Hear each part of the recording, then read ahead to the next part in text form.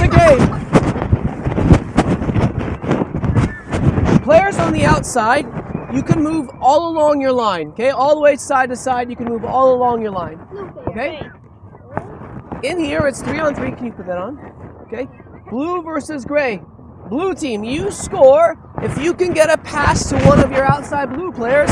If you pass to him, he's got to take his first touch onto the field. It must come onto the field, he must keep the ball. Our team must keep the ball. Okay? After, if I do that, I'm going to switch with him.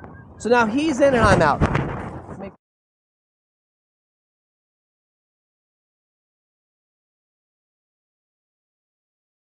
What could you do to help him?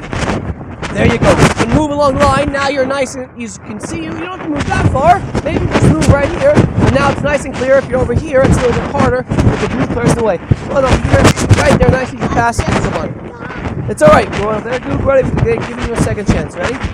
As soon as I play this, as soon as Rylan touches it, we're live. You can move right away. Okay? No one else can move until he's touched it. So Harrison has the ball here.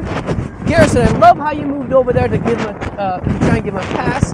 Harrison went all the way over here to Jack, so pass that ball. On this ball, since Garrison's gone way over there, it's hard to see him because Graham's kind of closing him off. Where do you want to take this first touch now?